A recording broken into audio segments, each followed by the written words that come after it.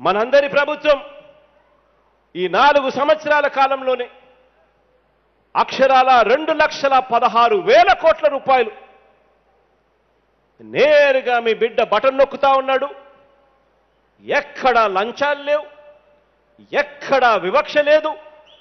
నా అక్క చెల్లెమ్మల కుటుంబాల కుటుంబ సభ్యుల అకౌంట్లలోకి నేరుగా డబ్బులు పోతా ఉన్నాయి.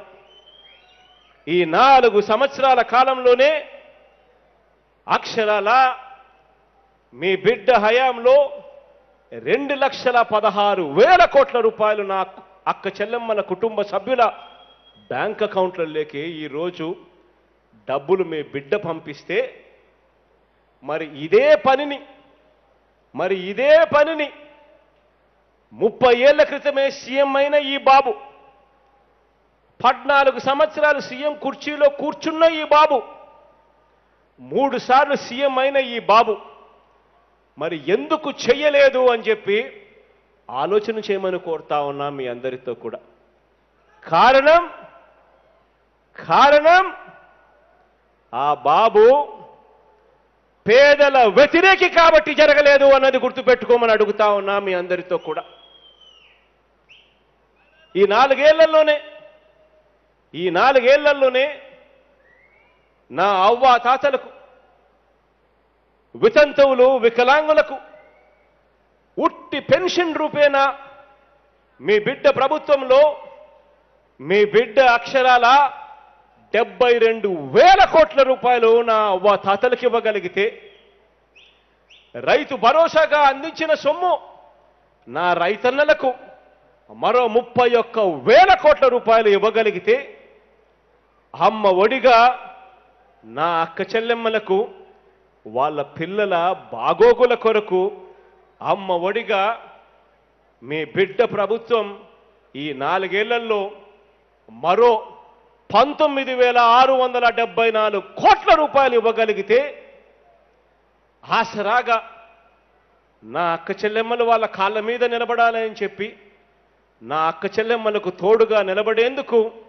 ఈ నాలుగేళ్ళలో మీ బిడ్డ ప్రభుత్వం ఆసరాగా ఇంకో పంతొమ్మిది వేల నూట డెబ్బై ఎనిమిది కోట్ల రూపాయలు ఇవ్వగలిగితే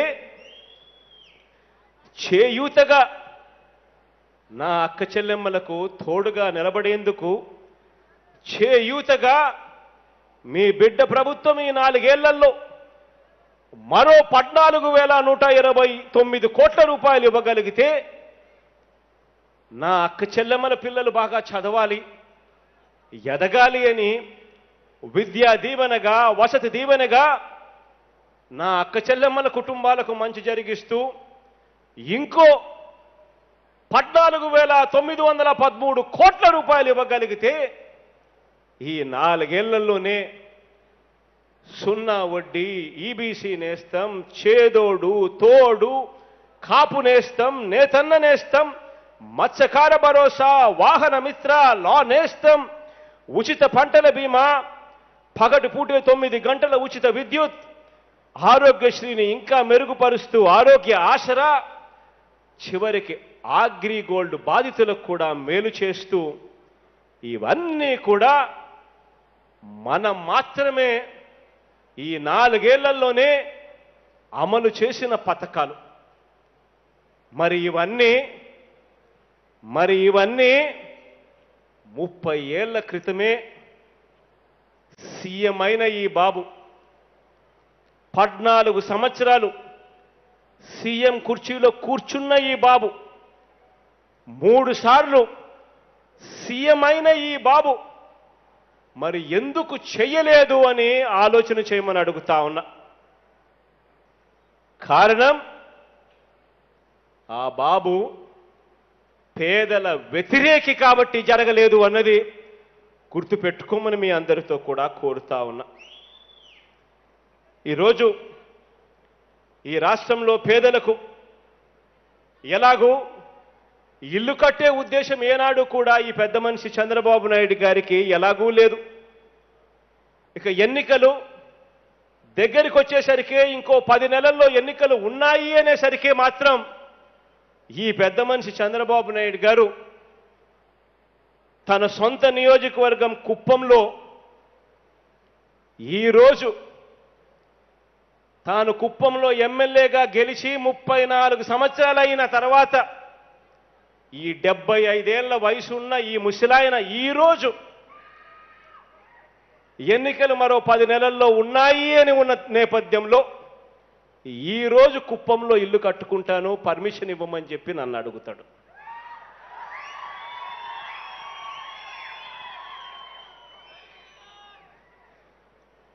కుప్పంలోకి వెళ్తాడు. కుప్పంలో మైకు పట్టుకుంటాడు. మైకు పట్టుకొని ఏమంటాడో తెలుసా? ఇంకో ఛాన్స్ ఇవ్వండి చేసేస్తా. ఇంకో ఛాన్స్ ఇవ్వండి. ఇంకా ఎక్కువ చేస్తా.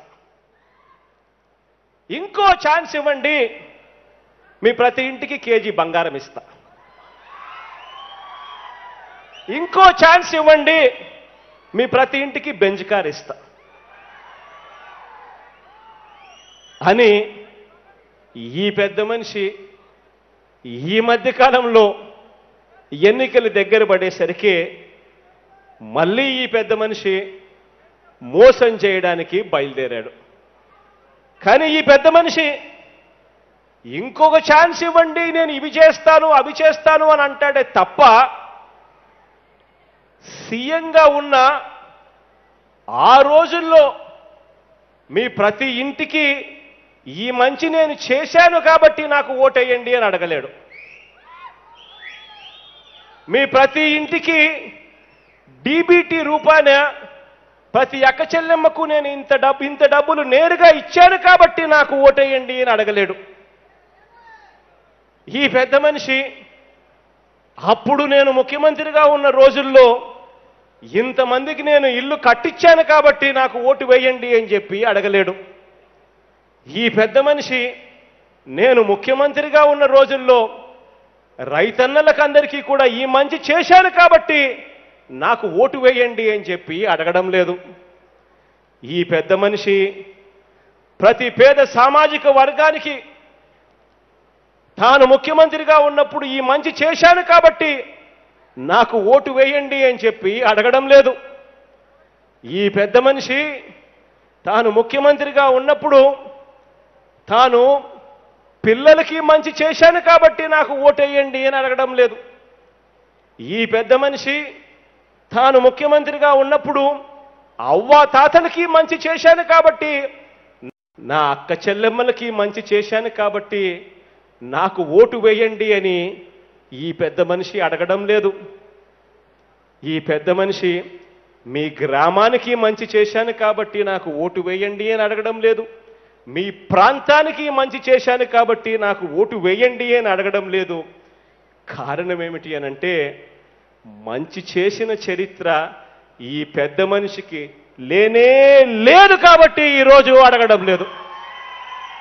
అందుకే ఈ పెద్ద మనిషి ముప్పై సంవత్సరాల కిందటే ముఖ్యమంత్రి అయినా పద్నాలుగేళ్ళు ముఖ్యమంత్రి కుర్చీలో కూర్చున్నా మూడు సార్లు ముఖ్యమంత్రి అయినా కూడా తాను ఈ మంచి చేశాను కాబట్టి ఈ మంచి చేసిన చరిత్ర నాకు ఉంది కాబట్టి నాకు ఓటు వేయండి అని చెప్పి అడిగే నైతికత కూడా ఈ పెద్ద మనిషికి లేకుండా పోయింది.